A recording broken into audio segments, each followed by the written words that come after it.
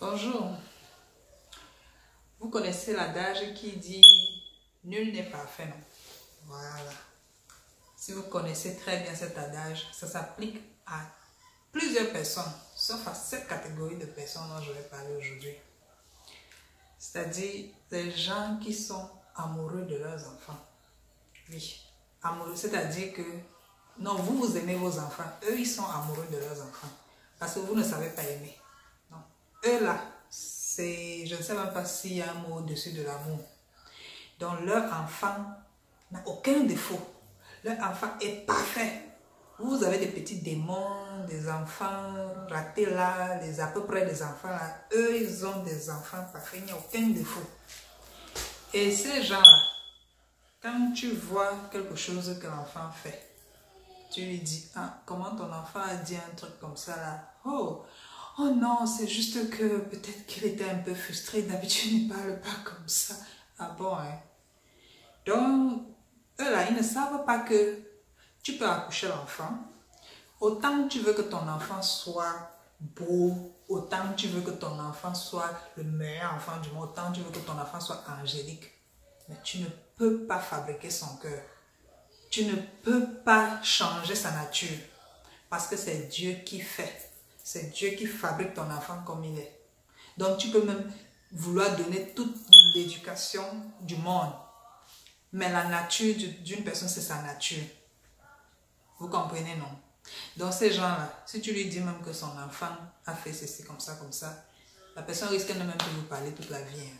Il ne faut même pas oser ce qui est marrant, c'est que parfois ces enfants, c'est les premiers qui les embarrassent souvent en public. Parce que quand ils arrivent, tellement ils sont bien élevés qu'ils savent qu'il faut parler mal à leurs parents, même devant les gens. Et quand ces enfants-là, par exemple, ont un problème avec un autre enfant, non. C'est toujours l'autre enfant qui a tort. Donc, c'est toujours l'autre enfant qui a fait. Il arrive, il trouve que les enfants sont en train de faire des problèmes. Tu ne peux pas d'abord demander qu'est-ce qui s'est passé tu commences directement à t'en prendre à l'autre enfant comme si c'est l'enfant du diable, comme si lui n'a pas aussi de parents. Ton enfant, lui, ne peut rien faire. Il ne peut rien faire de mal.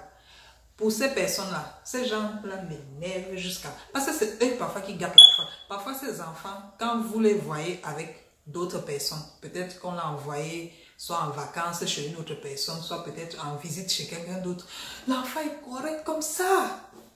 Donc, toutes ces mauvaises habitudes-là, c'est seulement parce que les parents sont toujours en train de vouloir leur trouver des excuses à tout. Ils font n'importe quoi.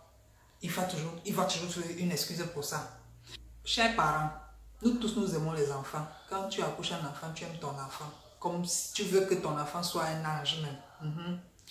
Mais, comme on dit, l'être humain n'est pas parfait. Et si ton enfant est un être humain, ça veut dire qu'il n'est pas parfait. Donc, il va toujours faire des choses que tu ne voudrais pas qu'il fasse. C'est normal. Et quand quelqu'un vient te dire que ton enfant a posé tel acte comme ça, au lieu de devenir, je sais même pas, au lieu de devenir comme le, le je sais même pas, te, te, te, te dresser comme si c'était le lion, essaye plutôt de comprendre ce qu'on a dit et essaye de voir comment tu peux améliorer l'éducation de ton enfant parce que tout ça là, ce n'est que pour aider. Hein? Parfois, nous les parents, tu accouches un enfant tellement tu l'aimes que tu ne vois pas certaines choses. C'est quelqu'un d'autre avec l'œil extérieur qui voit un truc que toi tu n'as jamais remarqué et vient te faire euh, part de ça. Et ça va t'aider à éduquer ton enfant. Donc, vous les parents là, qui, qui êtes amoureux de vos enfants là, vous qui aimez vos enfants plus que tout le monde là, sachez donc que ces enfants ne sont pas parfaits. Donc, pour vous, chers parents super amoureux de vos enfants là, sachez que vous accouchez un enfant vous n'accouchez pas son cœur. Votre enfant est un être humain et donc il va faire des erreurs.